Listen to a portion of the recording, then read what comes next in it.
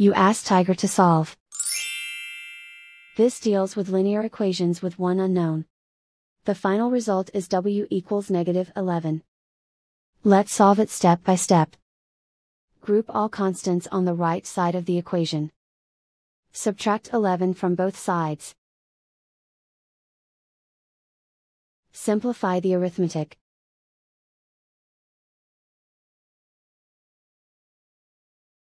And so the final result is w equals negative 11.